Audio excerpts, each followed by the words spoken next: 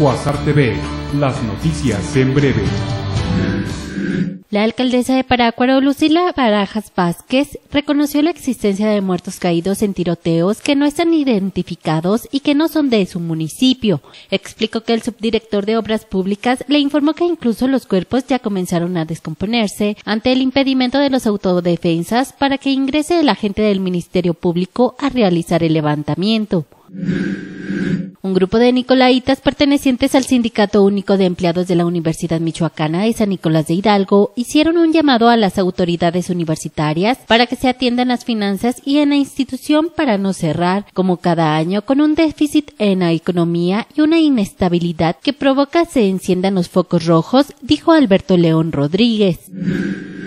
Michoacán aún no es un estado fallido, más bien es un gobierno fallido, declaró este martes en rueda de prensa el dirigente estatal del PRD, Víctor Manuel Baez Ceja, quien resaltó que los poderes legislativo y judicial están trabajando. El Partido de la Revolución Democrática en Michoacán anunció una renovación en la dirigencia del partido para este 2014 e hizo un llamado a los militantes a fortalecer el instituto político, ya que prevalezcan la unidad, la prudencia y la institucionalidad.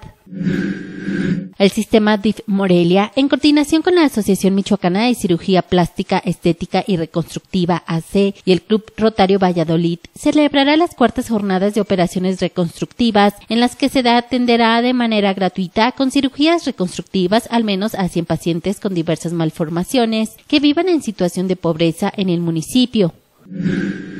El planetario de Morelia, LIC Felipe Rivera, es el único que mantiene un programa social de divulgación de la ciencia en el país con recursos propios, el cual con la colaboración de diversas instituciones durante la presente administración ha podido llegar a más de 150 poblaciones del interior de Michoacán y a acercarse a más de 80 mil personas de escasos recursos.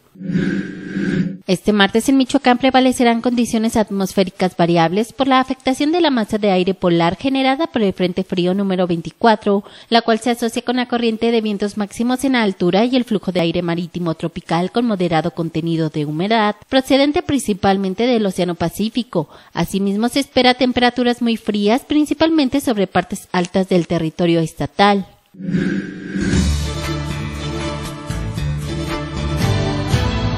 Cuasar TV, las noticias en breve.